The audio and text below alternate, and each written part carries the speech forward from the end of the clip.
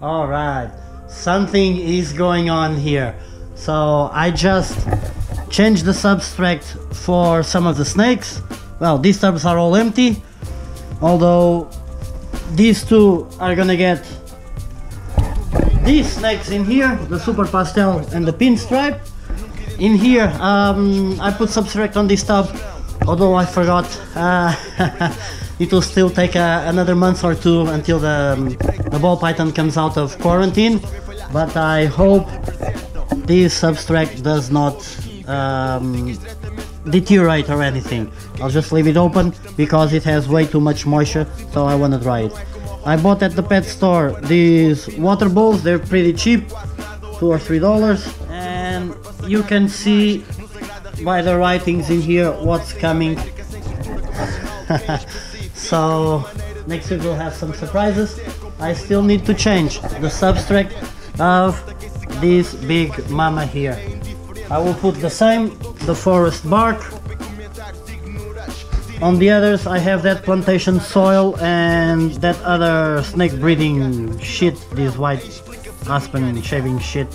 So, and now for something completely different. Here we are again in my crib and I'm about to show you something that you might find funny. So, this is my clutch killer incubator. Careful, because it's flammable. I got uh, an independent thermocouple here. I've been stabilizing it, it's 30.4. I've got it set to 31 degrees. Let's check inside.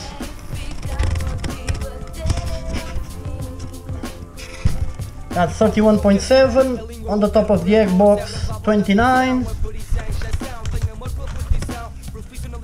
29.1 33.4 at the bottom.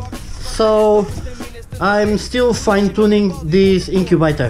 This is a shitty incubator made of styrofoam but uh, I gave it a cool name. Let's see if I don't kill the eggs. I have already shown you in a previous video this filer for office paper A4 paper so pretty much it has a little gap in here that the little snakes could find a way to escape if they force it.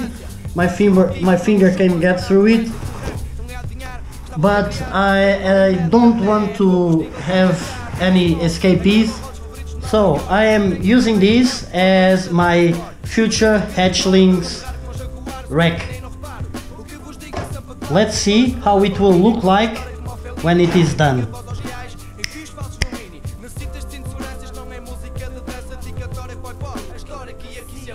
Here it is, the hatchlings dungeon.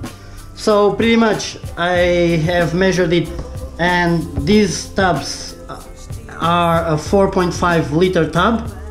So the little hatchling that will come on the middle one that has a more constant temperature will come here. I gave it a little height, just cheaply built out of a used milk box. I have the let me get this out of the way. I have the thermocouple uh, stuck, the tip of the thermocouple probe stuck in, in here. Got the little water bowl.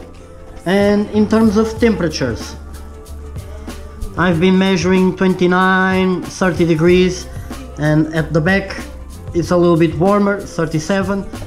I punctured a few holes at the back to facilitate the um, airflow and the heat transfer and a few more at the front in here so I pretty much taped it with masking tape all around to in order to let some light pass but not letting the the snake escape and to give it a little bit more of cover because this is fairly transparent. I don't want the um, little ball python to be overexposed and feel stressed and not eat. I have the thermostat here at the top regulated for 32 degrees. That's the temperature that I've found that well tuned it gives me 30 32 degrees at the back and I put a little bit of insulation um, at the back uh, of the, um, the heating element. The, the heat pad has been doing a fairly good job.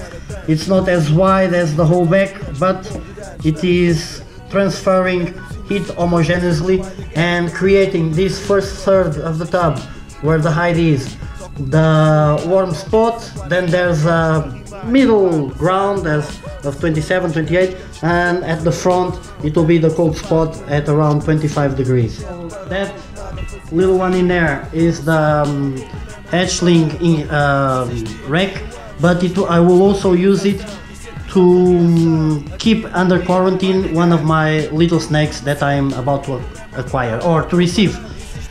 This other tub that I bought uh, it will be used as quarantine for a larger snake it is a 25 liter box. I put a little sticker in here just for fun.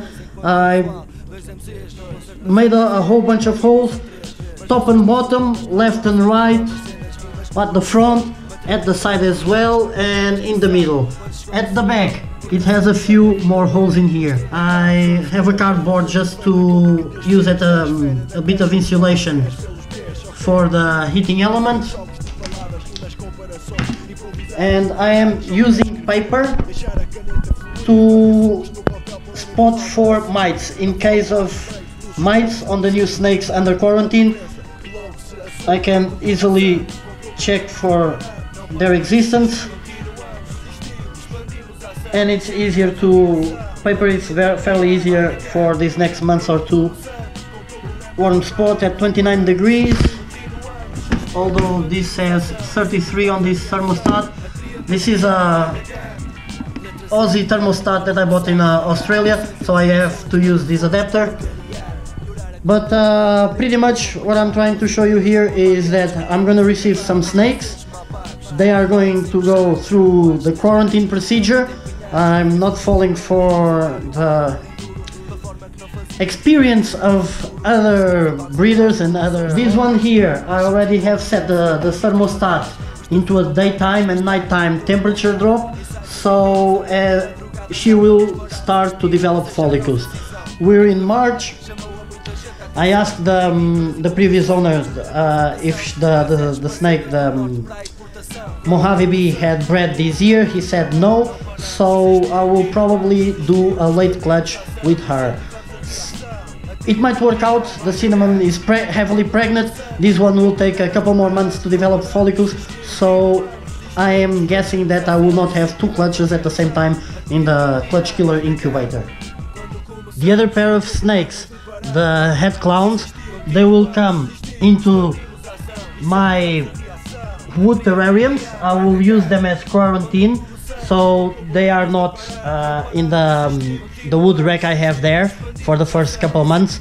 And I will house the Super Pastel and the Pinstripe in the tubs. In a couple days I'll move them here. I'm just waiting for the the moisture to evaporate a little bit for the substrate that I just put to dry up a little bit. And in a few months I will have all of these racks except for the one at the bottom. I'll, uh, out of eight I will have seven occupied. The other snakes that uh, will be in the kitchen uh, under quarantine they will occupy these displaced terrariums. That's the, the way I'm figuring uh, I want to do things and so that's my plan um, keep an eye out on my channel for next week's videos once I receive my new ball pythons and I will have my collection complete. For the time being, this is what I want. So I will have a super pastel jungle, I'll breed her to the um, pinstripe and hopefully I will get lemon blast and pastel jungles. I'm getting um, Mojave B, so that's spider and Mojave also crossed out of this list. I will have clown, het clowns, I'll make my clowns, I'll have a hidden gene Woma, not a Woma tiger. Uh, I will get the, le the lesser platinum gene, the spot nose, already have the cinnamon pastel. I have an Enchi fire, so I'm hoping that the descendants of this bugger will uh, separate and I'll have a single Enchi, a single fire, have the lizard, leopard, Bolgin and. So this is pretty much my plan to have one of each of these single G, uh, single morphs and to get a couple of combos, double double genes for the time being for the next half a dozen years.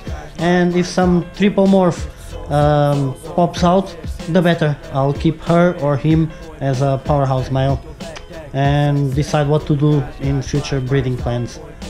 Cheers!